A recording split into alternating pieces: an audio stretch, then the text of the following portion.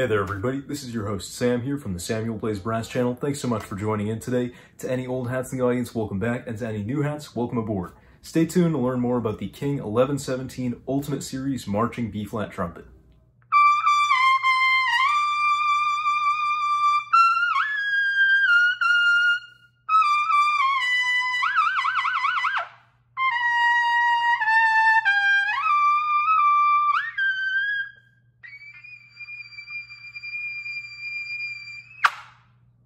According to the Conn-Selmer website, designed primarily for outdoor use, the King 1117 utilizes strategic bracing and unique acoustical design to make the ultimate powerhouse trumpet.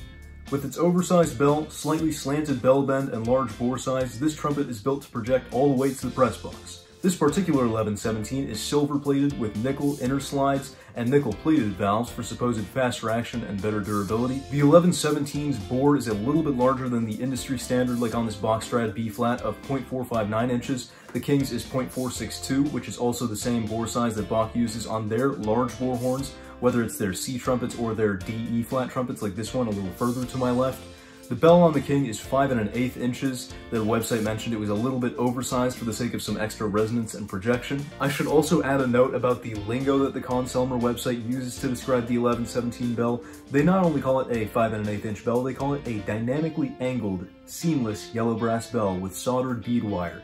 That is quite a mouthful, but Essentially, there's some acoustical treatment going on to hopefully allow this trumpet to project a little bit better out on the field. And although I'm by no means a connoisseur of instrument cases, I would like to mention that the King 1117 comes in a really awesome stackable case. It's got these little divots in the top and four legs on the bottom to match up, and it honestly makes perfect sense. If you're stacking a bunch of these up in a trailer, you want them to fit together nicely, and that's what the King company decided to do. Like I said, this is King's idea of a marching band trumpet, meaning it's supposed to excel out on the open field. You're supposed to be able to project well with it, and you can't really hear your sound reflected back at you, so you obviously want a trumpet that's, you know, right on the money and projects well into the open. It still has a huge dynamic range. It doesn't just play extremely loud, but it also has a nice soft side, the sforzandos and forte piano crescendos on this instrument are exceptional. I absolutely love them. And that's great for drum corps type stuff where you want that sudden, you know, cut in volume and then that gradual build back up. It's a really, really cool effect and it works really well on this instrument.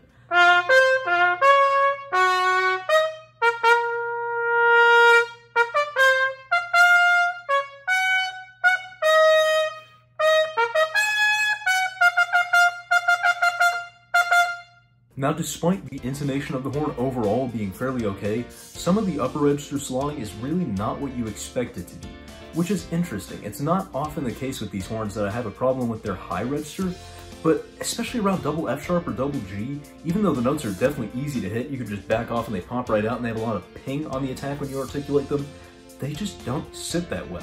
I had gripes with almost all of the high notes on this horn. Double G was way weirder than it is normally for me. Double G sharp and A, forget it.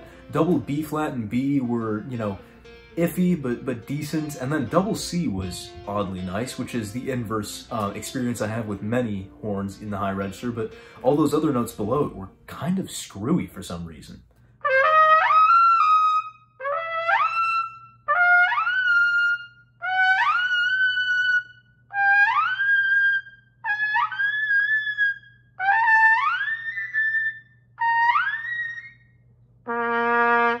With that said, the middle to high register is pretty nice on this instrument. The traditionally flat E partial is not too bad on this instrument, and it's very malleable, so even if it does sit a little bit flat for you, you can bend it right up to pitch. And the G right on top of the staff and the G sharp and A right above it that are traditionally pretty sharp also can come down pretty easily. So in the middle of high register, assuming you're not playing double Gs and As all day, the notes actually slot pretty well. With my initial playing impressions of the King 1117, I was really amazed. This trumpet stood right up to the Kanstul 103 that I've reviewed earlier in the past. You can check the video up there in the card for more information on that horn. But I was really amazed because I'd had kind of lower expectations for the King than the Kanstul, frankly, and so I was really pleasantly surprised. And listening back to the recordings, I was also surprised by the sound, just maybe not as pleasant. You expect marching trumpets to have some brightness and edge to their sound, just naturally in that open space, you need a lot of high overtones to have that carrying capacity for a trumpet sound to be able to be heard across the field and back, you know? So we expect these things. The trouble is the King 1117 is very bright and pointed, almost to the point of shrillness. Even with the huge Schilke 20 mouthpiece that I was using on it, I was really surprised by just how bright the sound was. This I probably should have expected because it's a commonality among almost every King Trumpet I've played. The 600 series student model, which I've played several of from different eras, is definitely stuffier than this one, but also has that really bright and almost tinny sound, frankly, so thankfully the 1117 isn't quite as bad in that regard, but even the upper end King trumpets like their Silver Flare definitely sound bright in my hands and are really tough to sort of mold towards a darker sound.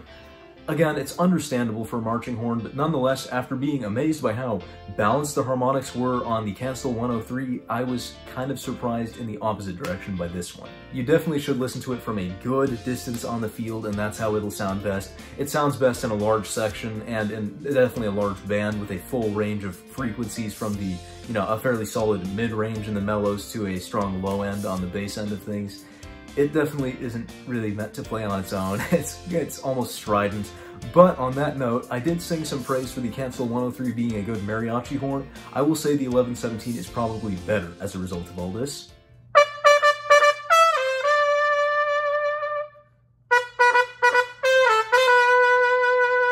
So trying to juggle all the information and opinions I've thrown at you in the past few minutes, what are my final crash course thoughts on the King 1117 Ultimate Series Trumpet? Despite my few qualms that I have with the instrument, I really do enjoy playing it. It's definitely a fun one, and it definitely performs well out on the field, even if it's less of an all-around horn, I suppose. It's a fairly approachable one, I would say, compared to some marching brass. There are definitely some marching brass instruments that are temperamental or fussy or have a really steep learning curve, and as an incoming marcher, it can be really tough to find one that's sort of tailor-made for you, so I would consider the 1117 to be a very versatile bet. Of course, there's no one shoe that fits every basketball player, and thusly there's no one trumpet that fits every marching band trumpet player, but in any case, I think this is definitely a good one to start out on. It looks great and performs great, I'm sure, on the field, and it's definitely more affordable than some professional quality instruments. It's got fairly balanced intonation, like I said, at least up until double G. Overall, it's a joy to play, even in an indoor space. So with that said, I hope you've learned something and I hope you've enjoyed this review on the King 1117. If you have, make sure to leave a like and a comment down below. If you find you're not subscribed to the channel like a lot of my usual viewers actually aren't, consider subscribing down below. It's a small gesture with a huge impact. It'll keep me making these types of reviews and it'll keep you notified when I release these types of reviews. In the meantime, you can find some older ones up in the playlist in the card. This has been Samuel Plays Brass reviewing the King 1117. Thanks so much for watching, and until next time, we'll see you on the flip side.